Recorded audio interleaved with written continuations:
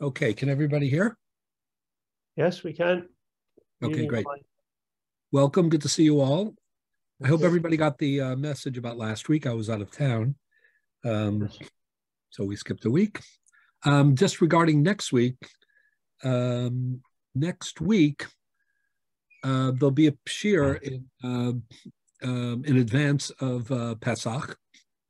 Um, and it will be, it's also going to be the uh, a Yortzeit shiur that I'm giving in uh, in memory of my father, whose second Yortzeit isn't that night, but is, you know, a couple of days later. Um, but it'll be co-sponsored by um, uh, it'll be co it'll be co-sponsored by Fifth Avenue Synagogue and also Yeshiva University. Um, so it you know it should it'll be a different uh, Zoom, uh, but it will be um, it should be sent out to you with the flyer, etc. So that'll be our pre-Pesach um, class this year will be um, coinciding with that Yortzeit shiur that I'm giving on the topic of Pesach. Okay, that's just a public announce, public service announcement, as they say. Okay, so I think we should begin, right? Sounds right. Sound right. Yes. Whenever Okay, you're great. ready. So the um, there are new mareh mekomos that were sent out, and uh, we're going to be using them. Um, okay, so uh, those of you who have the Gemara should also follow on the net. So in the beginning of the, we're starting from the beginning again, even though we we've been jumping around. But uh, the Gemara on the Beis Amud Aleph, the Mishnah on the Beis Amud Aleph, um, discusses the fact that when a person um, maybe get in Medinas Hayam, if a person um, you know um, gets divorced, sadly, and the um, uh, get is sent from Eretz Yisrael, um, I'm sorry, from uh, Chutz La'aretz to Eretz Yisrael. That's how maybe get Medinas Hayam. So the Mishnah on Beis Amud Aleph says nachta nachta. It's necessary for the shliach, since the Baal, the uh, the actual husband, he lives, uh, you know, elsewhere. He lives in Medinas Hayam, so he sends a uh, agent to deliver the divorce. So the agent has to declare uh, b'fanei nachta b'fanei nachta. He has to be able to honestly say that this bill of divorce was written and was signed in my presence. Um, yeah. And then if you look at the last line on the Mishnah on Beis Amud Aleph, the Mishnah says that maybe get Be'eretz Yisrael. However, if the get was delivered, uh, it was processed, it was written, it was delivered all in Eretz Yisrael itself. There was no cross-country um, aspect to it. Then the shliach can simply deliver the bill of divorce. Doesn't need to proclaim uh, uh, to affirm that the document was, you know, signed and and and written in his presence. But in Yeshalav Orim is the last line of the Mishnah, Yiskayim Bechosama. If at some point there becomes a challenge to the validity or the authenticity of this um, get, then you'll have to go to court and authenticate the signatures to show that it isn't a forgery, but to verify that it is indeed um, a legitimate, authentic um, document. So the Mishnah basically is concerned with uh, the possibility that a um, divorce that is sent, you know, um, by by an agent might in fact, you know, um, not really reflect the the will of the husband, and it might not be um, a legitimate document. This is, of course, a question that arises in all societies, and um, you know whether it's uh, in economic um, context or or other important, you know, personal documents. Like when we receive a document indirectly, and uh, there's a middleman, so we're not dealing directly with the parties themselves, right? Uh, to what extent can you rely on the fact that um, we're dealing with authentic documents and not with uh, some sort of chicanery? So what the Mishnah basically says is that if this is a um, process that includes travel, um, then under those conditions, there has to be some sort of affirmation, something that supports, you know, the authenticity of the document. If it's within the precincts of Eretz Yisrael, so um, under those conditions, we can rely on it. If there's a challenge, you know, at that point, then you have to address that. But uh, in the absence of a challenge, a get that's written and delivered in Eretz Yisrael is perceived to be, presumed to be um, authentic. So the Gemara, we've discussed this before, but we're going to discuss a different aspect of it now. The Gemara base on Aleph um, on the bottom and going to the next page explains what's the reason. What are we really worried about? And it records a debate. So the Gemara says, "My Tama, what's the reason?" The Gemara says, "Rabba Amar on base base to be lefi she'ein bekiyan lishma." And Rabba Amar lefi she'ein edim mitzuyin lekaimo. So uh, Rabba was of the opinion that the problem is a get, in order to be legally effective, needs to be um, written with purity of motive, meaning it needs to be uh, written specifically for this, you know, um, couple. If somebody mass produced, let's say there are, uh, you know, um, uh, you know, I don't want to take somebody's names because, you know, it'll be somebody's real name and I'll insult them by by accident. But let's say uh, X is, you know, divorcing Y, and let's say the most popular name, you know, uh, in the world, you know, is X for men and uh, and Y for women, right? So you know they, you know, the factories, you know, the um, you know people who you know make a business on producing uh, um, divorces or contracts are going to mass produce X and Y, you know, divorces, which will be technically accurate, you know, so they can mass produce them and, and be ready, you know, in case they're needed. So that is not um, valid in a halachic get. Or a get to be valid, it had to be written lishma, l'shem ish zeh and l'shem ish azu. And that's equally. Um, which might explain. By, what's that? Equally accepted by Edim Mesira uh, proponents and Edim uh, Chasima proponents. So the difference, we've discussed this a little bit, the the difference be, if you hold Ede Chas Ede Masira Karsi, like Rabbi Eliezer, then um, this goes to the writing of the document. The Torah says the Kosav law Sefer Krisus, right? Uh, Vinasan biyada, v'shilcha mi beso. So the word the Kosav is interpreted by Rabbi Eliezer as literally v'kasav. So the ksivas get, the writing of the get, has to, it says v'kasav law. He should write for her, meaning it can't be generically or mass produced. It has to be um, written, you know, with the focus on this particular marriage. According to Rabbi Meir, who says Ede Chasima Karsi, which means the significant um, dimension of the contract of a, of a divorce is not the writing and the and the and the handing over of the document, but it's the signatures of the witnesses. So according to Rabbi Meir, the word v'kasav here means the significant ksiva, which means the chasima, the signing. So there is a difference between Rabbi Eliezer. So, so the problem that not in the requirement problem, of problem is in the problem that wouldn't be a problem according to Rabbi Meir. You know, it would be. It's a problem either way. The only question is, everybody agrees that you require the Shema, that the you know, there needs to be a personal um, divorce. The only question is, but, is but no one is claiming that, that the printers are going to print things with signatures.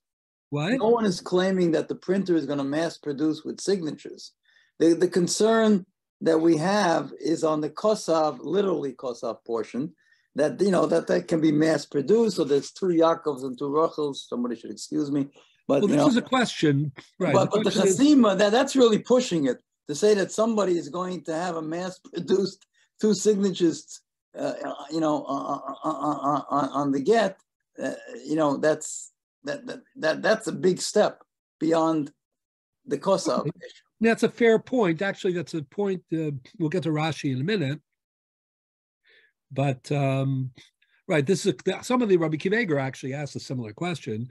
He says some cases of lo lishma, you know, are not just cases of lo lishma; they're cases of um, chashash sheker, which is kind of what you're saying. Meaning, if somebody produces or signs a document, you know, in a generic way, so vis-a-vis the individual couple, it's not even true. So the problem isn't lishma; the problem is sheker truth and falsehood. So that's a question that the Achronim deal with. Rabbi Akiva Eiger asks this question. It's a very strong question. But let's leave that aside for the moment because I don't want to get bogged down in that. I'm just telling you that it is a very good question. Uh, I'm just pointing out that the requirement of lishma is uh, agree is is is you know is universally agreed. The only question is, are we talking about ksiva lishma? Or are we talking about chasima lishma? And either way, the you know it's not only the um, you know the question of mass production it's also um you know um like you know again there can be uh you know two couples or three couples with the same name and you can have the agent say you know that three couples are all going to get you know divorced and you know when they're signing they're not signing in a specific way they're signing in a generic way so it isn't a lie because it's for one of these three couples right but it is still lo lishma so either way, the requirement of lishma is a unique feature. For example, in a shtar mecher, um, you know, if you, you know, real estate deal or a shtar milva, right, a, a, a, a contract, a loan contract. Not a problem. There's no requirement of lishma. In a get, because it says the kasav law, that's where you have lishma. The Gemara actually in Kiddushin, on Daf um, uh, Test and Aleph discusses whether Shtar Kiddushin requires Lishma. Um, in the in the end of the day, we conclude that it does, because the source for Shtar Kiddushin is Gittin. So it's Vyatza V'hoisa. It's the Hekesh of Havaya Liyitzia. And therefore, since the source of Shtar Kiddushin is a get, if a get requires Lishma, Shtar Kiddushin requires Lishma. But it's really two views in the Gemara. And as we discussed when we talk about Ksavyado, our previous topic, applying Gavyatza the comparison between Gittin and Kiddushin is a tricky matter, very tricky matter. Doesn't always work fully. Doesn't always work because they're opposite directions. They're the same, you know, category. They're dealing with issues, and therefore the standards may be parallel, but they're, they're also opposite directions. One is, you know, direction. Right. So it's always tricky to apply that, which is why the Gemara does have in Kiddushin to, you know, an argument about it. Just because there's Lishma in a get doesn't mean there's Lishma in a Shtar Kiddushin. But Lahalacha, we do think that it is a requirement. What's more curious is even if, you know, we learn it from there, we derive it from there, and we apply it, do we necessarily apply it exactly the same way? And I'm going to expand on this in just a minute. Anyway, so it's the view of Rabbah so Rabbah says as follows In Eretz Yisrael, apparently there was greater literacy, halachic literacy. There was a greater awareness of this uh, requirement, or less concern that people would neglect it. And therefore, um, unless there's a challenge to the to the get, the presumption was that it would be, you know, written in a proper fashion uh, and signed in a proper fashion. And therefore, we're not worried about lishma. But when once you are dealing with a get that was produced in the diaspora. So in the diaspora, you know, the standards are all over the place. And that included Bavel? What? That included Bavel? So that's a discussion in the Gemara later on. In the simple reading of the Mishnah, it does. But right, Bavel had a, you know, at a certain pretty point. Strong, pretty strong infrastructure, Bavel had. Yeah, that's that's absolutely true. Um, so either way, that's why, according to Rabbah, there's a requirement when the the when the shliach says b'fanei nechtam b'fanei nechtam, it's his way of saying, you know, um, I guarantee or I um, attest everything was in order. Care that was taken in the preparation of this get that it was done kadasu kadin with all of the proper um, prerequisites. Um, Rava Rava, sorry, has a different explanation. For him, it's lefisha ein edim mitzuyim lekaimo. What that means is once you start traveling, especially in uh, areas where there can be, you know, political discord, boy, we know that. So um, you can't rely automatically on uh, on the ability, you know, to to cross borders, you know, and even to communicate, you know, in an effective way cross borders. So, um, if that's true in our time, which it is, it's you know certainly was the case, you know, when uh, communication and travel were much more primitive, and um, if there were you know political disputes, you know, between neighbors, um, countries, etc. So um, you can. So the question is this: in Eretz Yisrael itself, which was you know one political entity. So if there would be a question that would arise about the authenticity of these Adim, the expectation was that you know we could communicate with them and you know find out or try to authenticate you know their signatures, etc. What was, the, what were the historical facts when there was Yehuda and Yisrael? So the Gemara again, that you're asking a really good question. Or Yehuda and Galil, you know. So Yehuda and Galil is that you know like two different. Yeah, but uh, that's just that's just within one political entity. But Yehuda Yisrael, right? So it wasn't always one unfriendly entity. entities. Right. It was sometimes run by different, you know, by different factions. So that's a great question. So the bigger principle here is that whenever there is, you know, transportation and communication challenges, you want to upfront authenticate the document. You don't want to rely on the fact that, you know, if or when there's a challenge, that then you'll reach out, you know, and try to investigate because the means to investigate is, is severely compromised by not only distance, but especially by, you know, um, a breakdown you know, of political, um, you know, unity and distance and communication difficulties, etc. So the idea of Rabbah was if you're sending a get from Eretz, from uh, Medinas Hayam to Eretz ein edim mitzuyim lakaimo. We're concerned that unless you're proactively validate, you know, this uh, this document and inoculate it from any kind of challenge, that when there is a challenge, that we're going to be caught, you know, um, in in a in a circumstance where we're unable, you know, to um, affirm, you know, the validity of the document, and then you're going to be stuck. The woman is going to be stuck, and that would be what a happened to Lakish and the idea that the document should speak for itself. Oh, great question.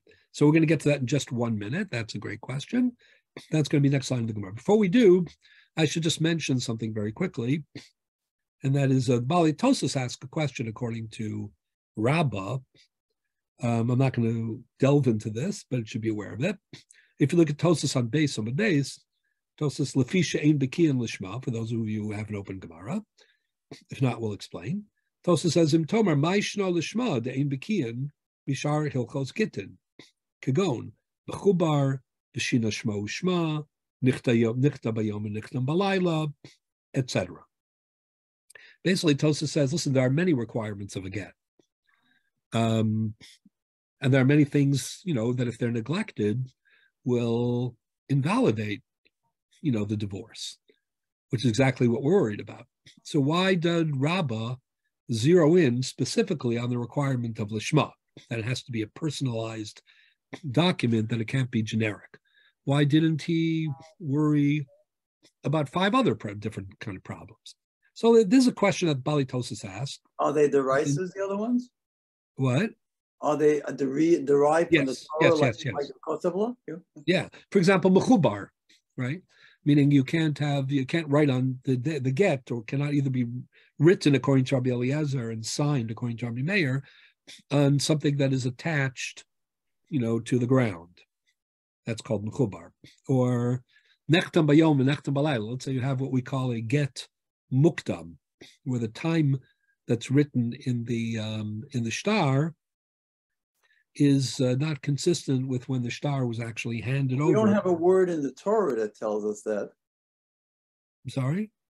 We well, we learn a word in the Torah because of law that tells us the Shema. Right. You have a word in the Torah that tells us the other things. Yeah. So mechubar is derived from, you know, the, it says v'kasav la sefer krisus, you know, v'nasan biyada. So the Gemara says, "Mi she'ena mechusar," you know, ella nesima. Chaser or shemechusar. Well, they all have a, they all have something in the Torah that a word in the Torah that Yeah. tells us. Well, the the kasab, you know, nechta bayom and nechta balayla, that's what that's not written in the Torah, but that's a, a still a d'Oraisa problem because it's a shtar mukdam, meaning it it could cheat the um, you know, the uh, purchasers of you know the property, like nechasim mishubadim. Um, so that you know, each one of these is a biblical issue.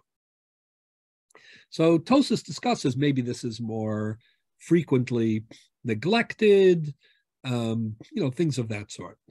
But um, what I wanted to make a suggestion was that maybe there's a different aspect, you know, a different, you know, singular feature to Lishma. And that is that um, it really goes to the heart and core of what the get is really all about. So in the last couple of weeks, last week we weren't here, but um, in the last couple of weeks, we've been discussing the fact, or we mentioned the fact, that Gittin, unlike Kiddushin, um, is very what I call front loaded. Meaning, Minatora, it's it's a unilateral process. It can be imposed. And as such, the decision to get divorced already has a certain weight. Now, that's what I mean by being front loaded, meaning it has a certain um, inevitability about it if you so choose to, you know, to proceed. You don't need permission. And I think one could argue um, that lishma is an expression of that, meaning the lishma is right at the beginning of the process. So, and that, you know, is what I was referring to when I said there might be a difference between the lishma of Gittin and the lishma of Kiddushin, even though the lishma of Kiddushin, Shtar Kiddushin, is derived from it. So it's um, the reason for that is that Kiddushin is a consensual, um, you know, covenant. You know, the process is um, a mutual one.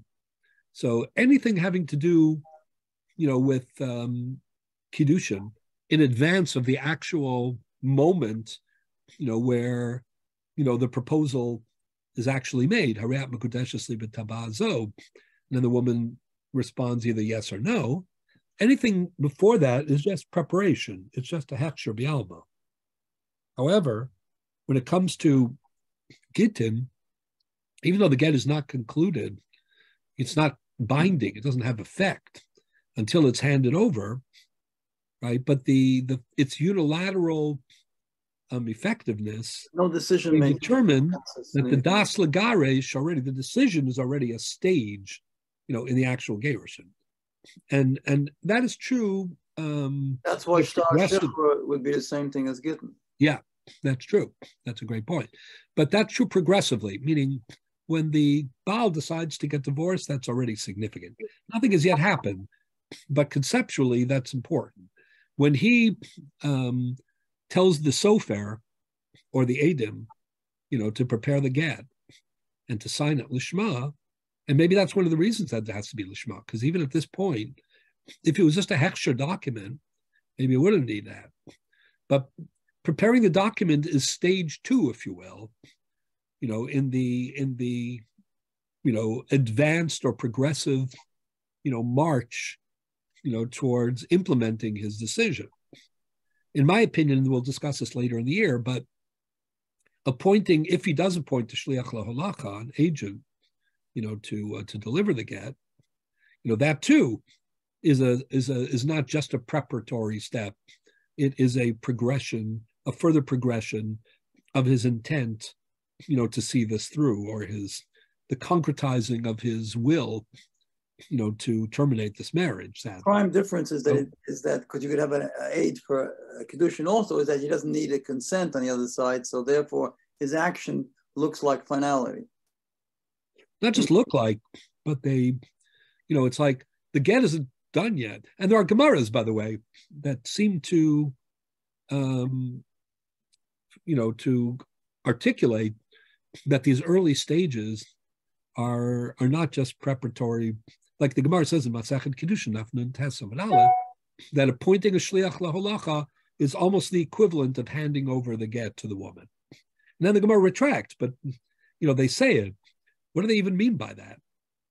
But the answer is, you know, he um, is is implementing his, you know, desire to do this. So even even the first thing when he says if he says he wants to divorce his wife, that's already considered a a a a, a so to speak turning point. Right. I mean, turning point for what? That would be the question. But No, because because we know that the reason for the ksuba is that Yeah. no, Shlei Kalabain of Lahotzia. and then we got to get let's call him a, a redheaded uh They're very getting the temperamental guy, you know, he gets upset, you know, and he might he might, you know, he might say that, but he's gonna think about it when he figures out the economic Right. So we're not talking about fleeting or or that's why I think it's more, it's not so much the decision. It's you know, when you actually start taking concrete steps, that's the beginning of the process. So the first concrete step that you can probably take is that the tzivui lesofer ulaedim, you know, lichto velachtom lishma. And the fact that it is personal personalized may very well be because of this. I my this is my theory when the Gemara in Kiddushin has the view, we don't paskin this way. But the Gemara thought maybe Vyatzav House is irrelevant. Maybe you don't need Lishma in Shtar Kiddushin. Maybe it's unique to Shtar Gerushin. Why? For this reason. Because in Gerushin, the the writing of the document specifically, you know, Lishma is is an expression, is a significant expression of Das Lagaresh and Das Lagaresh is, you know, a significant stage, even though it's not enough to actually implement, but it's still a stage in the Gerushin. Whereas if you assign somebody to write a Shtar Kiddushin, it's not unilaterally up to you, you know, that, you know, that she's going to accept it. She could say no. And therefore it's just more preparatory. So one would have thought, you know, at that early stage, do you really need Lishma? But yet, if you if one finds a, a signed get on the floor, Yeah. okay, uh, if I remember correctly, it's not necessarily re- returned to the woman, No. assuming that that that she was already uh, get, had the get. Okay, the assumption is maybe he never, you know, he, he had all Never gave it. signed it, and he had second thoughts. Right. So we see that from that that it, that's not necessarily. No, no, no. There could all again, it's not implemented. But what we're trying to figure out is like, why is there a requirement of the? I'll, I'll, I'll just make it clearer in a way. You know, the general requirement of lishma is associated mostly, trying to be accurate. What, what, what should be the Shema? I understand the question because then people could swap gets and you could just swap names and do random. No, Yes, we're, just, we're just trying to figure out why it has to be personalized. Meaning, why can't there? Be, why can't you go into a Sfarim store or whatever, or a lawyer store, and have you know a, a Bob and a, you know, and a Bob and a, you know, and again, I'm, I'm, I'm whatever, a Bob and a Bobette, you know, um, you know, let's say those, those are, let's say 50% of Americans are now calling themselves Bob and Bobette. So you want to get ahead of the uh, game or mass produce. So that, you, you, you know, you could still do things to personalize it later, I guess. But the writing of the get or the signing of the uh, get, you know, maybe can, you know, i- i- at some point, it's like Well, if well, buy well, well, but, but by the way, maybe that's what exactly what we don't want. We do, we do, we want don't. people, right? So that, that's why we're making the Shema. Right. But what I'm saying is part of the reason we don't, part of the reason we're making it Lishma, part of the reason we're personalizing it is because even at the earliest stages, we don't look at the get only as a, you know, that you're you're kind of uh, preparing the document just in case. We consider the preparation of the document already to be, you know, a stage, not not an implement, implementation, but more than just a thought. Because y- y- in Torah, you could just do this. Maybe that's why the Right. Rabbanan say that a husband who decided to divorce his wife is not supposed to live with his wife. Yeah, hundred percent. It's also for the reasons that we discussed earlier in the year, which is that you know that would be a corruption of the kedusha sa'ishos. But in addition to that, it is because there's an aspect already. This the, the, the Gemara calls it, if you remember the sources earlier in the year, grusha salev. Like you know, she's uh, in in his heart. You know, they're divorced. So when do we? You know, there's no kedusha, you know, kedusha salev. Why is there grusha salev? It's all what we call you know, Dvarim Shabbalei Veinam Dvarim. But here, because it's a unilateral process, Minan Torah, it's my, anyways. So that's my theory why Lishma is different than some of these other requirements. It's not just a requirement; it's a requirement that really um, underscores what is singular about a get.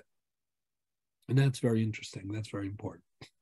The Gemara on, um, okay, so let's leave that aside for the moment. That's for Rabbah. For Rava, let's go skip to the Gemara in Gimel Amud Aleph and the question that you asked. That's really what I want to talk about. So let's skip to the Gemara in Gimel Amud Aleph. Um, let's see, in the mareh mekomos, do I have Gimel Amud Aleph? Just one second.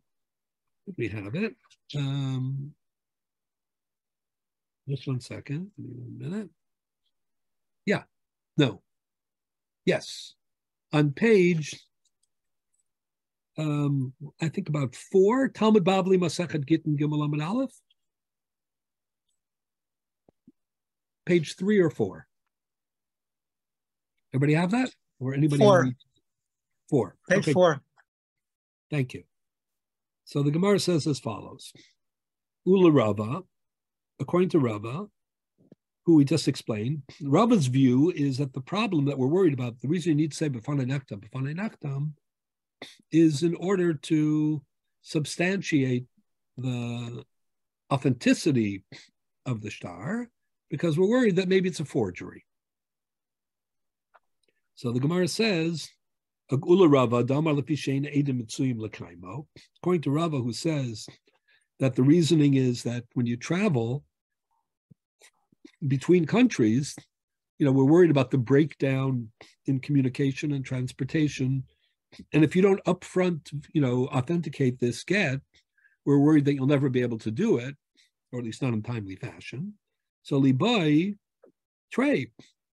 So if the problem is that maybe the shtar, maybe the get is forgery, maybe it's not a valid document, why is it enough to authenticate it with one person?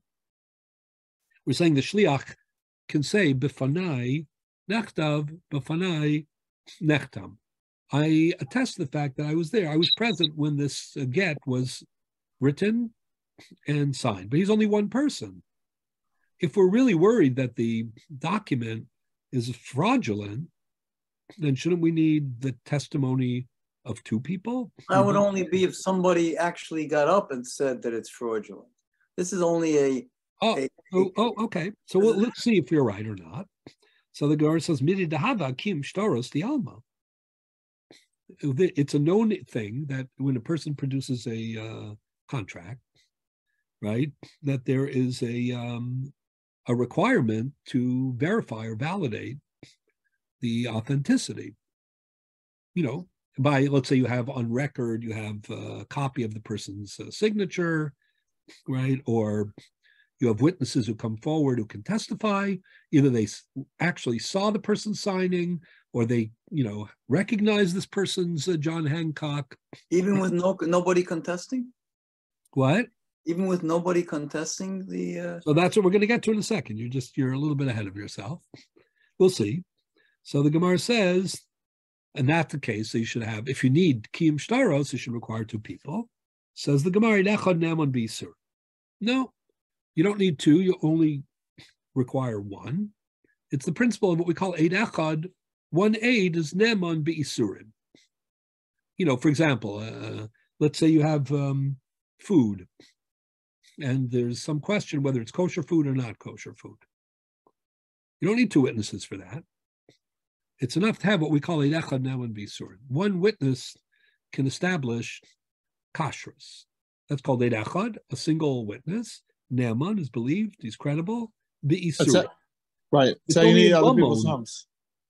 So the Gemara says, okay, but Ema Damrin and Echad Neman Bisurim to go in Chaticha Safek Shel Chelev Safek Shel Shum. And that's if we're talking about kashrus. When you have an object, you don't know one way or another whether it's kosher or non-kosher. I mean, it has no history. So you're, you know, you're you're tabula rasa. It's, it's you know, it's a blank slate. The lowest chazaki surah. You don't have to override some, you know, earlier presumption. So then we say lechonem bisur. Avalacha is chazaki surah the ish. But here we're talking about a woman who was married. She's a married woman, and we're trying to figure out whether this get frees her, whether it terminates her marriage and her status of ish or not. it also has mama. whether or not you can override the chazaka, the cheskas iser of Eishasish. So that's davar shebe'erba, and davar shebe'erba pakas mishnayim. That's the Gemara's question. So how can one shliach be neman to say b'fanei nachtam, b'fanei nachtam, when in fact uh, we should be demanding two witnesses like a regular, rigorous, you know, din Torah. And we're not concerned about the financial aspect, which would also require two witnesses? Well, so then even more, No, I'm saying. more of a reason. I There's a guess. kasuba, there's financials. Yeah, but you know th- that's they. It's a good additional question. Well, let's leave it at that for the moment. So here's where the Gemara ends up saying the sensational thing that it says. So the Gemara says, uh, "Bedinu de bekim shtaris nami loli boy." Actually, the need to verify a contract itself is not a biblical requirement. This is what you were alluding to, right? Why? Kid Reish Lakish. That's the principle of Reish Lakish. The Amar Reish Lakish, Reish Lakish said, Edim achasumim al ashtar, Edim who sign, uh, witnesses who sign a contract, nasu kamish nechkar idusam. It's as if they were interrogated in court and found to be valid witnesses, um, and therefore there's no need to, you know, to verify. Minat Torah. B'rabbanan hu da'atzruch, the requirement of kiyum shtaros of verification when you when a document appears, the need to verify it when there are witnesses attached to it or appended to it is only a rabbinical requirement. Rabbanan da'atzruch, v'hocha mishum aguna akiluba rabbanan. Since here we're talking about, um, you know, a sticky situation where the woman, you know, her get is being held up, her freedom is being held up. We don't want to do that. So even though there's a rabbinic requirement to verify the contract, since it's only a rabbinic requirement, we're more makil b'makom aguna. Okay? We're going to get back to this in a second. This is our topic. So this is where the Gemara establishes the principle of what we call kiyum shtaros drabanan. The need to verify a contract is only a rabbinical um, requirement. Minatora, a document is self-protective. The document is presumed to be um, authentic. So then the Gemara goes on, just read another minute. Haikulahu chumrahu. So what are you saying? That you know, even though it's only a dindrabanan, since it's a dindrabanan and mishumaguna, you can get away with one person to verify, not two.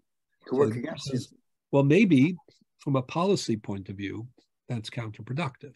Because on the one hand, you're trying to make it easier for the woman to move ahead with her life. That's a good cause, obviously. But at the same time, you may be setting her back because by lowering the standards, you may be, you know, inadvertently um, welcoming a challenge. In other words, if you had demanded, you know, at the outset that the only way this get is going to be, you know, um, utilized is if the standards are very high, then you discourage any kind of challenge because anybody who challenges knows that you know the the means for full authentication are there. But by lessening the requirement of verification, don't you kind of open the door for legal challenges? Now, of course, this is a very fascinating question in law and in halacha, meaning, you know, when when it comes to, you know, um, standards, standards are always, you know, um, um, tricky.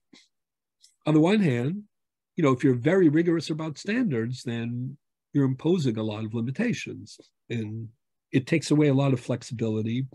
You know, people can't proceed if you have very high legal standards.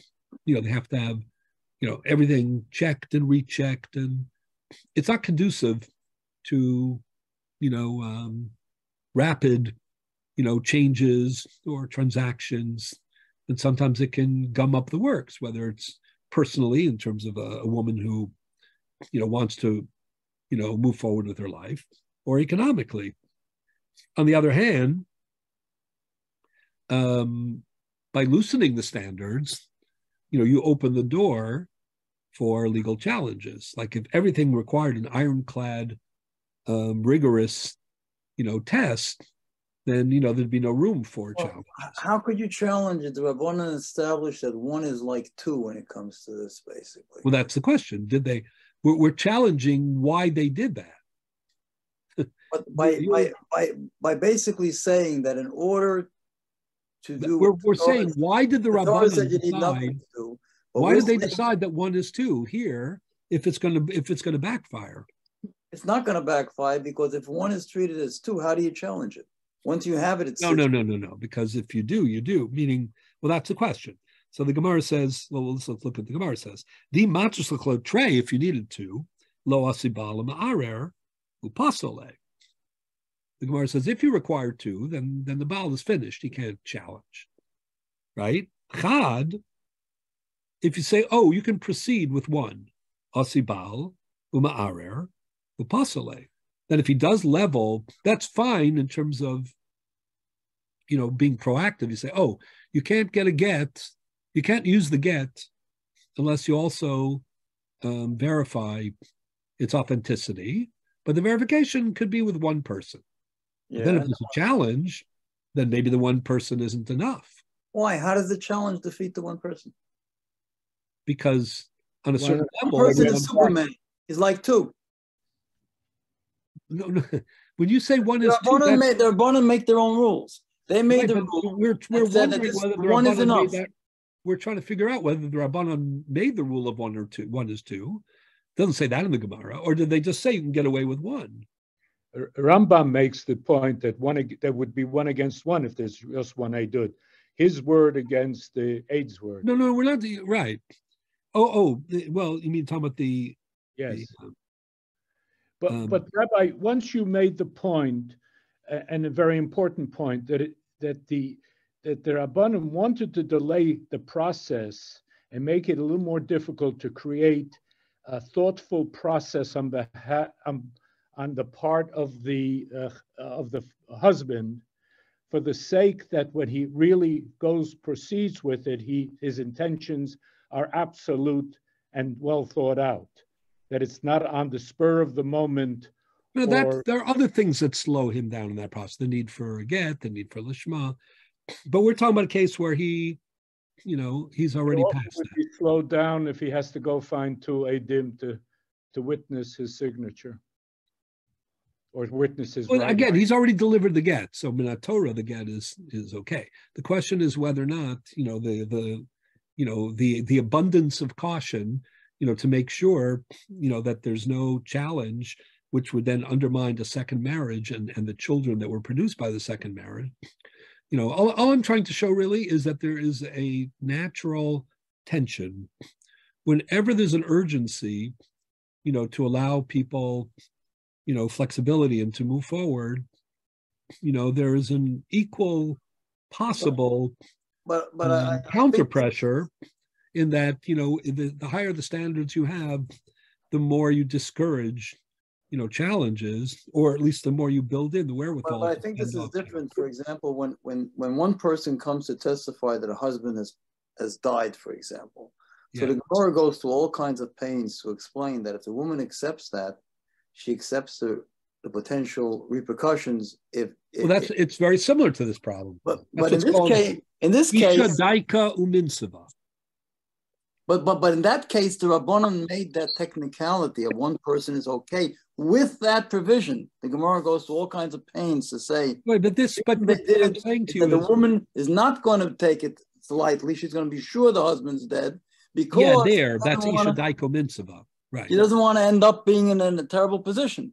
right In this But even then, by the way, in, in Isha B'misa Sabah, we're not talking about a case typically where there's a challenge. We're talking about, you know, proactively, you know, can she move forward with the assumption that there's no problem? But there too, you have a similar issue, just that here there's more, you know, because there's a Baal and he's maybe antagonistic. So the possibility of recriminations or of him claiming, I, you know, this whole thing is a forgery. We haven't heard from him. He's sent to shliach, you know. but that was tied into the takana of the Rabbanon, so Well, no, yeah, but what I'm trying to explain to you is that you're already looking at it knowing the maskana or knowing, you know, the conclusion. This is where the Gemara is is actually debating what the nature of that takana is. Mhm. What they're saying is, when you said one is good enough, did you mean one as one, in which case you're, you know, on the one hand, being flexible, which is a good thing. On the other hand, you might be inviting, you know, legal challenges, which is a bad thing. Or are you saying that the one really is good enough? And therefore, you know, it's almost like there are two. And therefore, if there actually is a challenge, you know, then, you know, um, this is going to override the challenge because the one is like two, right?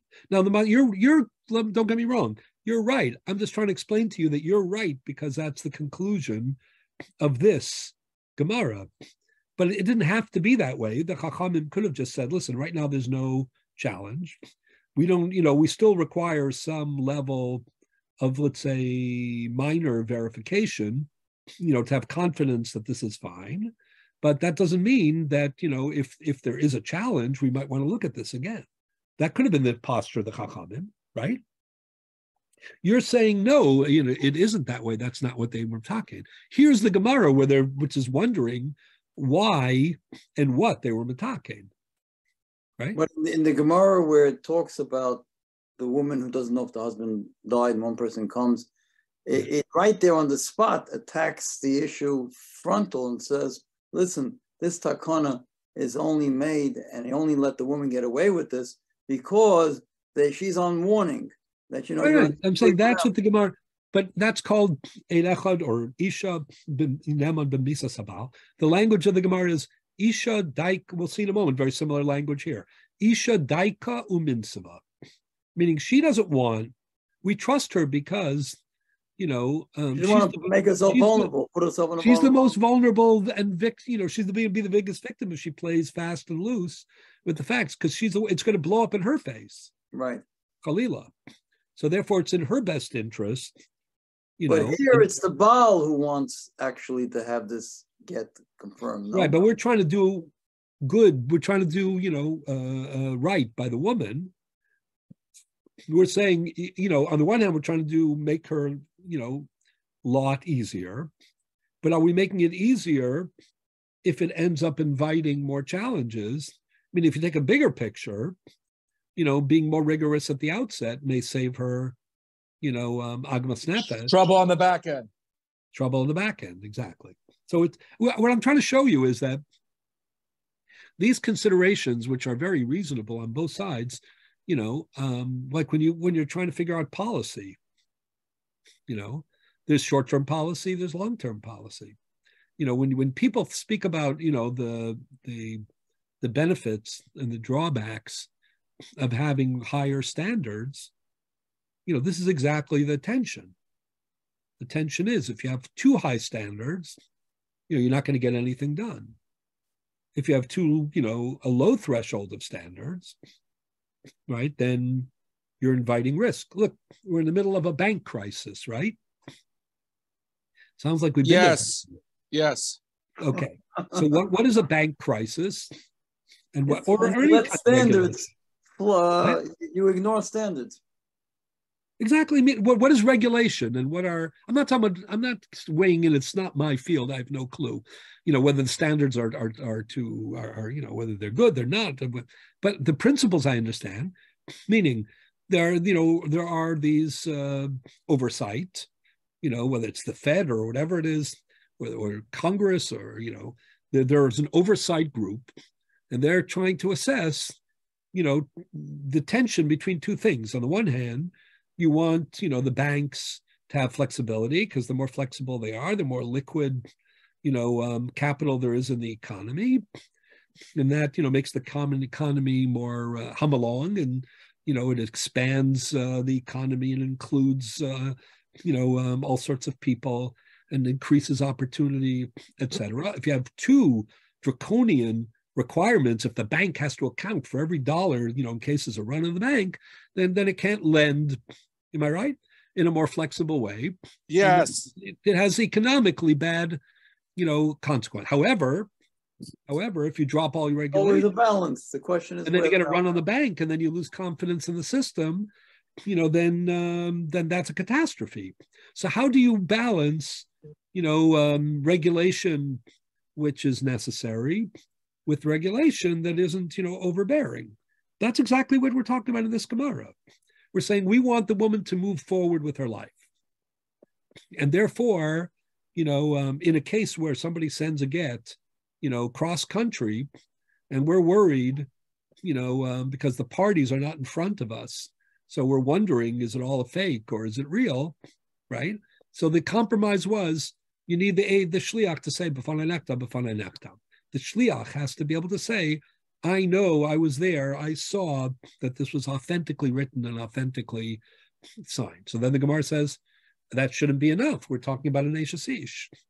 We're talking being matir and Ashasish. That's a davar shebe'erba. That should require two witnesses.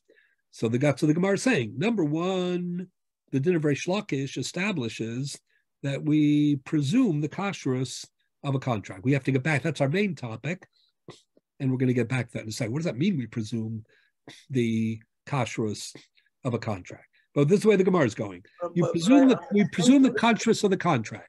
Number two, however, one second, midrabanan, we require some verification because otherwise we're not going to be able to sleep at night.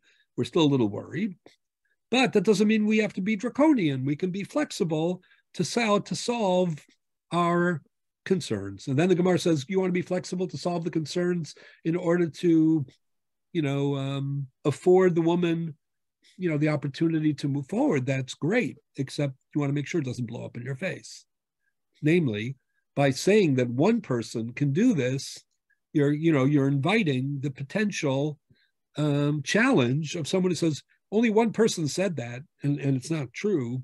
You know, we demand grow more proof. Or if But you I- two people, that would be the end of the story because there's no, nothing better than two witnesses. But actually, the difference here between this and the Baal is that if if we have a lachic truth, and sometimes it it, it it doesn't actually match what we physically see, but Right. still the halacha sta- stands out. The halachic mm-hmm. truth could be that one signature doesn't matter. You can come five guys and tell me I saw that it wasn't signed the Shema. It doesn't matter. The one verification meant that's the halachic truth. In the case of the woman, if the Baal comes back, you know, The the- Bahar, it's called Bahar Raglov. you know, it's hard to have halachic truth in the face of the Baal coming back. You know that.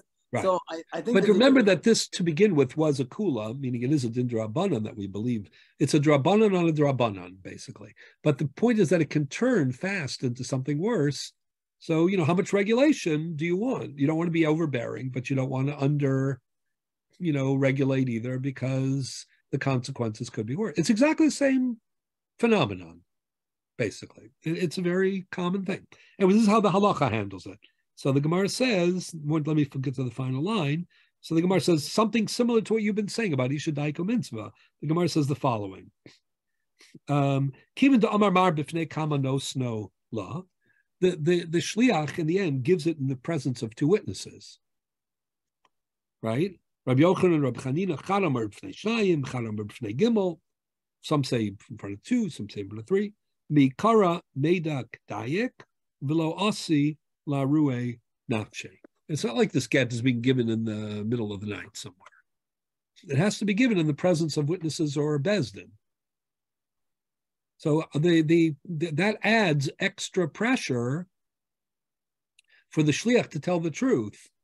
So even though he's one guy, he's medak dayak. That's very similar to the Gemara that you were talking about, which is that the woman who says, "I know for certain that my husband died. I saw him uh, fall into the Mayim Shein Lem Sof. I saw him fall into the ocean, and you know he never came out."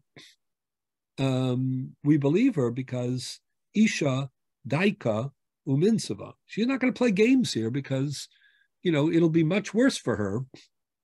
You know, if if as you say, Baharog Baraglov, if he shows up one day, then then you know her, you know, subsequent life is going to be in shambles. So it's, you know, that builds extra credibility for her. And this, mainly the reputation, they, they're not giving this get, you know, without an audience. They're putting their own credibility, their own reputation on the line. And since they're putting their own reputation on the line, therefore we um And, even though he's the Baal shliach, which means that he's probably getting paid by the Baal. well again the concern is is you know that the Baal is the one who's going to you know is going to attack it hmm. so that's not the problem here the, the concern the shliach is saying it's a good get The Baal was we're one we're Right, worried so he's Baal will turn talking against interest, as we say in American law. He's basically his, his it's even stronger. He's we have we have it also in the Gemara. He he's commenting against his own interest, to shliach, because the Baal is the one that hired him. So by saying it's it's Okay. so he should have extra credibility because he's he's saying something that you know the, he- the guy who's paying vis-a-vis at least at the at the end up it would be his boss who's who's challenging him. Correct. Okay. So anyways but let's get back. So this is a very interesting gemara and it's a great example as say of checks and balances i guess you could call it. You know um proper degree of caution and you know boldness um you know the the proper level of uh, regulation it's all the same thing basically okay but what comes out of this Gemara that's more important than anything else is that this Gemara quotes Reish Lakish. We've mentioned Reish Lakish all year long, but this is where Reish Lakish is. There are actually two Gemaras. Reish Lakish says, Edom achasum malashtar. Reish Lakish says that you don't, on a Torah level, not talking about Midrabanan, you don't have to worry about a shtar, about a contract. You don't have to be concerned that a contract is um, fraudulent because Edom achasumim malashtar, if it's signed, are unchallengeable. Nasa Commission It's as if it was, you know, verified in court. So of course, the statement alone, that's what I want to examine now. The statement alone is shocking. What does it mean to say that if a contract surfaces and the, you know, the the there are signatures on the piece of paper, there are no living witnesses there. Right? There's our signatures representing people.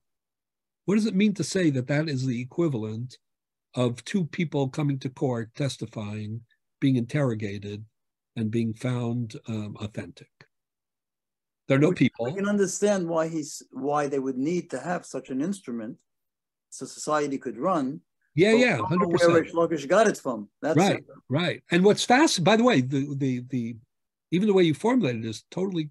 Where did he get it from? It's fascinating. This tremendous expansion of Rish Lakish to say that we treat signatures on on a on a contract as if we, you know, are are. We uh, understand why society would need an instrument. no, we need it, but we're talking about din Where daraisa. do you get it from? You know, Where is it? He doesn't have he doesn't have a source. There's no makar.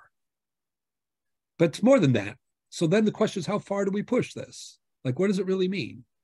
Under what conditions does Reish Lakish apply? Even if it was very minimum, it would be spectacular, because just the statement alone to say that that a, you know a signed contract is the equivalent of live witnesses who are interrogated is already shocking. But let's go further. So there are two in the entire Talmud Bavli, Reish Lakish's statement appears twice.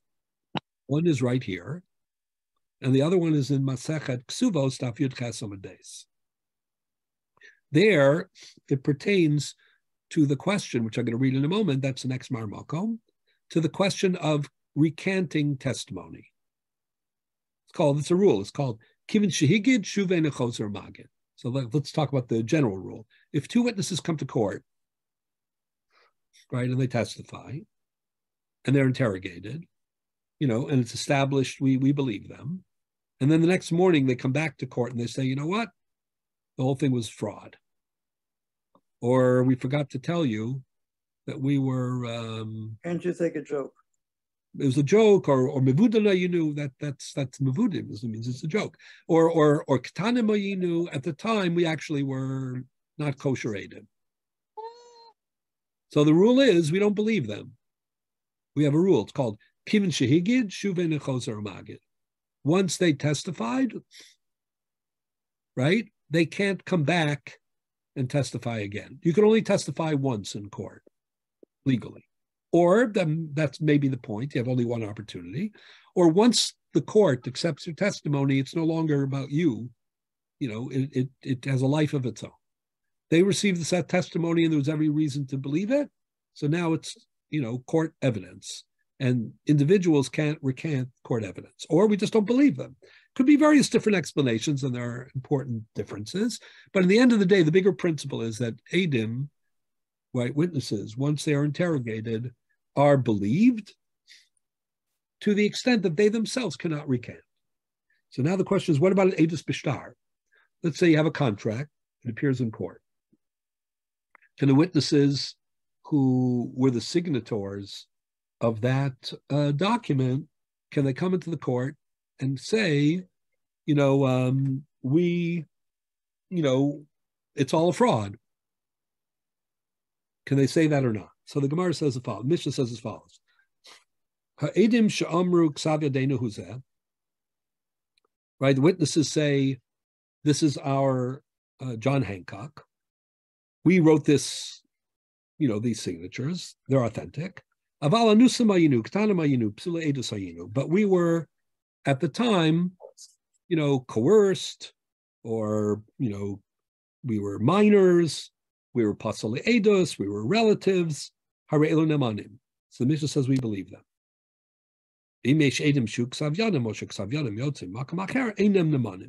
If the only way to authenticate the document is through them, and they claim that there was something untoward, that's called a pesha asar pesha hitir. The only reason we believe them, the only reason we believe in this document is because they have authenticated it. And they were, you know, on the one hand, authenticate with one hand they're authenticating it, with the other hand, they're telling you that it's that it's meaningless because they were not qualified as aided. However, if we have other means to authenticate, right, then um, we don't believe them. So this the Gemara, you know, follows up on this. This is true only if uh, they claim that they were coerced, like you know, financial coercion, like you know, they were greedy. Um, or somebody put, you know, threatened them financially. If their lives were in stake, why do we believe them? Either way, we shouldn't believe them. After all, they already testified. Kivin Shehigid, Shuvelechozer Magid. They already testified. They can't testify a second time on the same issue. Can't recant your testimony. Says the Gemara, mahani mili alpeh aval b'shtarlo, lest you say, when can you not recant your testimony? If you're uh, actually a, a, a, you know a real aid and you come to court, then you can't recant your testimony. But if you're a signature signator on a document, or there's a document that surfaces with your signature, and you even even if you agree with it, that is that the kind of testimony that you can't recant? Says the Gemara, that's not true. Even then, we apply this principle. Why? The uh, Amar Reish Lakish, Edamaksum Alastar, Nasa Kamishanakra, Edusan, Bebezdin. So this, this, there are two places in Chas. Our Gemara, which says we're not worried that a document has been forged because of Resh Lakish, because we treat the signatures as if they are interrogated witnesses. That's one case. And the second case is this case in Ksubos, where the Gemara says, even Adam Anashtar cannot recant their testimony. It's as if they were interrogated and found worthy, and therefore they can't turn their back on the Adus at that point in time. Okay? That those are the two cases. So what's fascinating, if you look at the next piece, is the Ritva. This is what we want to examine. We're going to start here today, but let me just also before before because we're going to have to go off soon. But let me just remind everybody that next, um, Jacob, uh, next week at eight o'clock. eight seven, o'clock, and and you, the Zoom will send out when we have it. Zoom will be sent out. The topic will be on uh, Pesach, actually, uh, Shkitas Korban Pesach, but it'll be, you know, the idea will be accessible. Um, and this is the yahrzeit shiur that I give um, annually for my father's yahrzeit. Um, it'll be given in live in Yeshiva University. Anybody wants to come, you know, is welcome. But we'll send out the flyer, and it'll be on Zoom, and it is co-sponsored also by the Fifth Avenue um, Synagogue. And, and, and, it's eight eight o'clock, not seven thirty. Eight o'clock. o'clock. Yeah, and you'll send out the um, the link. Yes. Okay, so getting back to the point here, the Ritva has a very interesting comment. So the Ritva says, "Ikasha, my raya my si, maisi mahu nahi deresh lakish." in our Gemara, we say that, you know, if a contract surfaces and we know nothing about it, the presumption is that it's not fraudulent because of Reish Lakish. So for some reason, the Ritva assumed that the original statement of Reish Lakish was in Ksuvas, to say that you can't recant testimony. You know, if you admit that you signed it, you can't say, "Oh, I signed it, but it's not real." So, so the Ritva says, "My raya my Reish Lakish." The Chiyamar Shlakish Ena Machsum Al Shtar Nasa Kamishnachra. This is Mebezin. Haile She'ena Yecholim Lomar Shuv Mevudin Anu Ubishtar. We're talking about a case where they admit that they signed, right? They're not saying it's a forgery. They're just saying it was a fake. circumstances. We're, we're, we're, or the circumstance, we, you know, we're chozer. Aval shtar she'enu. But if you were talking about uh, a situation where there was a question whether the whole thing was fraudulent or forgery, well, we don't even know if these are the people who signed. Elamizuyafu, it's a forgery. Bahaminalan. That's a fascinating thing. there are two cases of Reish Lakish and Olive Shas, explicit cases of Reish Lakish and Olive Shas. Reish Lakish is the foundation for treating contract witnesses as real, real testimony. But what we're saying is it's two places in Shas. And what the Ritva is saying is one is even much more radical than the other. It's one thing to say that when you have an authentication of the actual signatures, that they can't recant. Just like uh, oral testimony cannot be recanted once it's given properly. Even that is a chiddush because there wasn't really an interrogation. We're just saying it's the equivalent of an interrogation. But to say that when you have a piece of paper that shows up in court, and we don't even know if they actually signed it, that the presumption is that they signed it based on Reish Lakish? But that's, that's a little circular because Reish Lakish is saying that it is uh, evidence from, from Quite circular. That's Yeah, that's the that's Shtar an does enormous say- chiddush. the star is as strong as a. As, The as is saying about itself that it's authentic. Yeah. So that's what the Ritva calls out. It's fascinating. What if there's What, what if the person writes two stars and gives one to the Beit Din without any Eidim? In other words, the husband writes two uh, uh, Sefer Kritot and gives one to I, to the Beit Din or to, or to the Sanhedrin without Eidim on it. It's meaningless. And any Would that be acceptable as if there were Eidim? no, because it's not it's not prepared. I mean, there's something unless it's Biksav Yodo, which is what we discussed. Caviado, okay. No, no, no. That. Biksav Yodo we discussed very extensively in our previous topic. You know that that's biblically that's a proper get, and rabbinically that's problematic. We say um, that's gimel gittin psulim. One of them is kasa b'ksav yado ve'in alavedim. We say that you know um, you know midrabanan you should be, you should do use you should do better, but min Torah that would be a proper get if it was written in the handwriting of the um, of the Baal. But otherwise, you know, you uh, you need witnesses. But the question is, how do we know they're real witnesses? How do we know somebody didn't just you know fake the whole thing? So what what the Ritva ends up saying, I'm going to stop in a minute. Ritva gives two answers. The First answer he says is, well, maybe there was a Masorah that Reish Lakish said his halacha, even in a case where there was no kiyum, there was no authentication of the uh, signatures, because um, Reish Lakish up front thinks that part of the nature or character of a of a contract is that it protects itself, it's self-protective. Inami, look, look at the second answer. The hanachon kamosha tiritz rabbeinu, the midan Reish Lakish data maksum alashtar nasi kamishnachre. This is bebezdin alma dalima milsa dishtara, v'leik lamechash lemichtam shikra dishtara. So the the second answer, in the Ritva says, all we know is the din of Reish Lakish, and we knew two we know two applications. It's not that we knew one and then we extended it from there to the other. But what's the common denominator? The common denominator is that a contract is considered to be superior to verbal testimony. And therefore, even a verbal testimony would require some sort of interrogation, a contract, the the the expectation that people don't forge contracts, that it's so anathema for them to do that, that there's such a respect, let's say, for for contracts, you know, that people would never do that, or or their fear of being um, discovered. it's a different world, you know. Um, you know, if if there's an even an outside That check, or, or the absolute necessity for society, society to have some.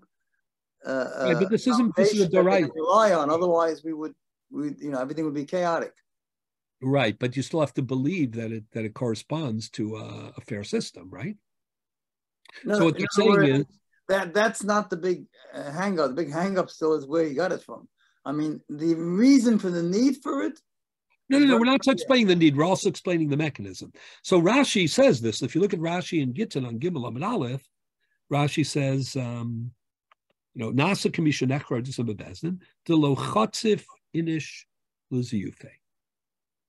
Right. The, the the the possibility people just would never do that. Writing, you know, faking a contract that's like anathema, or or the potential of being the risk of being caught doing that as an individual, once you know who the individual was, is such and that is greater than being caught uh, giving false testimony. Well, we don't think that Adim who testify are are false. We have a Chezkas Kashrus on that too. Let's say if Moshe and Aaron come to court and they testify, No, but they can be they, they can they can be contested with somebody else coming. But the star no, has no, no, no, no. I'm saying the other way. Let's say uh, you know Reuven and and uh, and uh, you know uh, and Levi testify, and they're kosher as far as we know they're kosher Adim, and then you know Aaron and Moshe come to court and they say they're not honest. That doesn't help you. If two Adim who weren't Krovim came, you'd say that's Trey and Trey. Maybe, maybe th- th- this is a really modern way. We're not giving uh, the Reish Lakish credit because the when you have when you what's the setting for ADOS? A Besdin, there's some dispute, and we know today that people can't remember anything. That's been proven in the last 50 years. People's memory is zero, is, is zero. Neuroscience. So maybe that's higher probability of, let's say, not criminality, but just lack of authenticity or agreement. Whereas the idea that somebody is writing a contract and going to the trouble of forging two different people's signature eh, is really, it could happen. But course it could basically, but basically, when you present somebody with a, a, contract, a contract, and it's uh, it, it has it has a status, you could actually do DNA analysis and find out what year it was done. So really, the scientific approach today would favor the the contract. We just have this idea that somehow if two people show up, it's like Perry Mason and we're going to find the truth. But that doesn't Like really it. happen in real I think life. there's a lot of validity to what you're saying. Not not so much the DNA part because that's Well, no, I- the, the idea that a document, the idea that somebody would go to the trouble a Right. while back, I think it's to- also it's like again, it's uh, not a, it's it's a not so certain, real. right? Or or there's a certain there are certain taboos in society, and and it goes a little to both of you saying, meaning because there's a recognition that you know some element of trust is critical for you know for e- the economy, for for status. You know, again, today everything is crazy, but Is, is it No, but, but, but if you think about it, if somebody showed up with a, a, a legal contract, you know, and had all the, the, the, the trappings and verbiage, and there were two signatures and dates, ostensibly on face value, you're going to accept it. You're not saying, well, they went. that's what Lakish is saying. Well, right. I'm saying that's that's really in, in a lot of ways radical but modern and and not in and and at the same time accurate. Whereas if two people show up, they confuse, they're confused. You know, you know. The whole idea is we always see that people are in, are are. I mean, that's why he says the language nechru bebesdin. It's kind of like an intrinsic to the document. Right. is it I I think it's a great point. There's only one other thing that we need to add, though, and that is that what we've been saying all along, which is this is Reb Chaim's idea, and that is that we really treat the din of Reish Lakish not only as what we call an umdana, like there's a presumption that everything is, you know, but as edus, and that's what I've been calling, but trying to understand his view, a kind of like a blank check of edus, meaning there's a dasa mischayev, meaning the the person who is who you know who who loses by creating this uh, document by by doing it this way he almost like commits you know that you know whatever you read into this document that is you know um, reasonable plausible you know i hereby commit that that should be treated you know as testimony because remember Reish Lakish isn't just saying, oh, if a contract shows up, assume it's good. He's using language like Kamisha Nechkara, it's Adim, and it's Kamisha. Remember, the witnesses don't even have to see the transaction, right? They were they were there. The husband, you know, brought them into his study and said, I want you to prepare a get. You know, it should be written a certain way and sign it. And then he or the shliach is going to go find the isha and give it to her. They don't have to be, if it's Eda Chasima, they don't have to be present. The, the, the issue is Rashi's comment. By Rashi So, saying, so I think Rashi's comment is a way of saying, as long as what's being said in the name of the star and the Adim is something that objectively is plausible, that's where the umdana comes in. That's where the chazaka comes but in. once you do If that, people were forging staros all over the place, Right. it wouldn't be well, credible. well, once you're say- doing that, you have to sort of explain why the chutzpah, as Rashi points out, Yeah, would be greater yeah. And the only thing I'm thinking about is that when you prepare a star, usually, Yeah. again, a person can do it by himself, but usually he has to get either a sofer, he has to get somebody who's good at forging the signature. He can do it all by himself if he's very clever and very. So you now you got X number of people involved, and the, the rule is, as Benjamin Franklin said, if you want to keep a secret, you have to kill the other guy because you know, if you have more than one person involved, you know it's uh, you know it, it's not going to be a secret. So maybe the the the the, the chutzpah issue or the concern, just like a person is not has a chutzpah in front of his baal chov, okay, because he knows the other guy knows. Right. He's looking And the guy in the in and he knows the guy knows he's lying. Right. Okay. So when he when he's when he's done it with three four people involved in the in in, in, in the plot, you know, it's it you know it, it he puts him at great risk that he's going to be Right. exposed. I, I- mean, another way of saying what Andy's saying is that there's there's a closer proximity between the contract, the star, and the actual principles. Whereas when when you when you throw it in front of a bezdin, you have witnesses. They're not necessarily part of that group, is what he's talking about. They're they're offering their testimony that they saw something, that they did something. But the contract, which was prepared, as Andy said, by the principals and a sofer, etc., it would be hard to look at the other guy in the eye and say, hey, wait a minute, you know, the, the, the contract was written up. Here's all the doc, documentation. And you have two people that signed it. They don't have to be around. We know they signed Right. it. Well, that's They're- what we they're- mean. They're involved think- with the with the actual. they're- they're I, I don't think that I don't think that was contract. Reish Lakish's approach. But I'm saying once Rashi opens that door, to Well, Rashi only is telling you that. psychological reason, then Right, we have no, to so- explore what the why there's a psychological reason. So when we go forward, what I'm going to try to explain is that um, I think there are two perspectives in understanding Reish Lakish. Reish Lakish is the cornerstone of contracts, and there are two perspectives, you know, along with Edi Masir and Edi Chasim and Savioto, which we discussed. But there are two basic factors in in this cornerstone. One is the what we call the umdana, the presumption, how a strong presumption that people, you know, that that what's being said or what's being um, read you know, into this document, into this contract, is you know, um, presumably, you know, true and accurate. And that's where Rashi's comment, you know, that lochatzif inish liziyufe becomes very important. Everybody needs that aspect of it. What I'm going to try to show is that there's still a debate, and that is that all there is to it, or because of that, the ability to speak in the name of the contract has the force of actual testimony, which is stronger than any individual chazaka. What we're going to try to show is, at least according to some Mepharshim, what Reish Lakish articulates is, is serious, meaning it's edim hachasumim kimishanechkara edusim. And that's, I think, what the Ritva is saying when he says the common denominator between kivin shehigid shuvana, you can't recant your testimony once you've written, you know, signed the, the document. And, you know, it even self-protects you know, against the charge of forgery is alima um, edusa dishtar. That the that in some respects, and this is a you know, what we're all struggling to explain, even though it's initially counterintuitive, but that the the evidence or the testimony, even as testimony of a contract, in some respects, is more flexible and more powerful than um, you know than oral testimony. Okay, so we're going to pick up with that when we continue, but that'll be for in a while, I guess. After Pesach. Talk about it extensively. But next week, just to remind everybody, at eight o'clock, we'll be discussing, um, I'll be giving yahrzeit shiur and the, the um, you know, Fifth Avenue Synagogue will be co-sponsoring, um, either in person in Yeshiva University or by Zoom. The link will be But someone given. will, will have the address at YU? Yes, Yeah, yeah, sh- You know- we'll, we'll, we'll get out by email, Henry. Everybody will have Yeah. it. Good. Yeah. Thank okay, you. so have a good week, So- everyone.